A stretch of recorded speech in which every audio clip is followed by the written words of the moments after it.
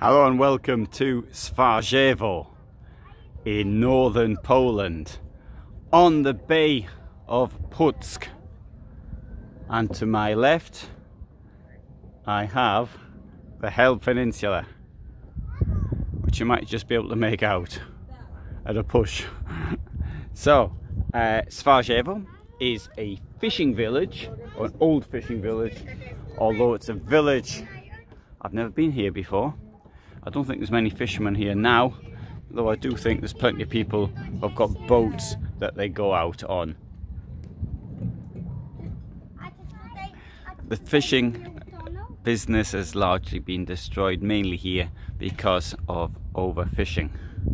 And so the rhythm that was once the, the, the fishermen would use uh, from uh, seasonal starting around mid-March when they would look for whitefish and then they'd change where they'd fish and look for different species until around the beginning of winter.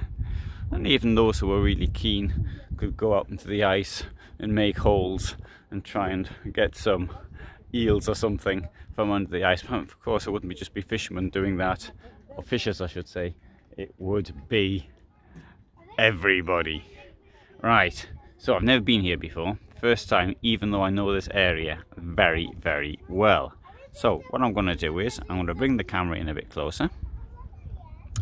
And in the distance we can see Puck with its big uh, church Gothic church which stands out as a landmark for kilometers around. And I cycled here using cycleways all the way. Or roads which were very quiet and came around here. Anyway, I want to take you back the other way.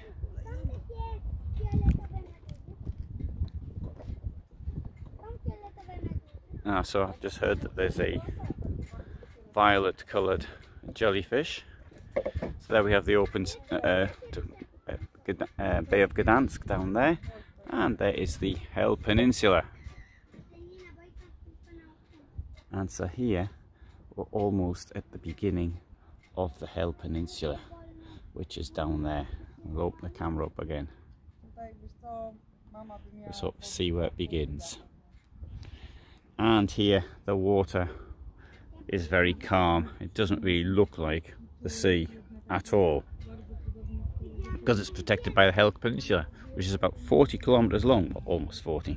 See there are fish here, there are minnows down there.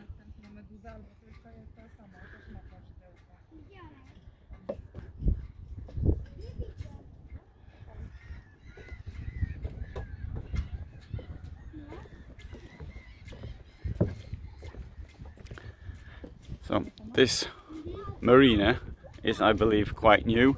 There was something here though in, in bygone times. There's a photograph from of the village in the 1930s and there was a tiny uh, little promontory probably for the fishing boats I presume.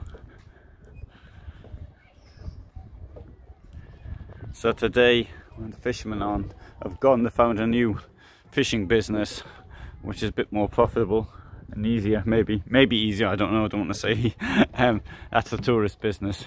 And lots of new uh, houses being built here comparatively lots anyway not many not many old ones. And clearly this is a tourist area but it hasn't got the popular tourism that we would find at Władysławowo which is to the north or Puck which is to the south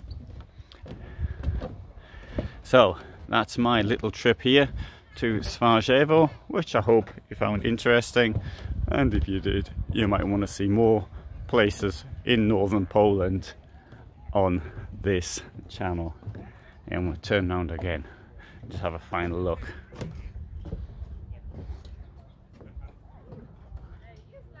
Yeah, the, the Bay of Puck is very shallow. So there's even one place you can actually walk across in certain times of the year. So, thanks for watching and all the best from Swarzewo.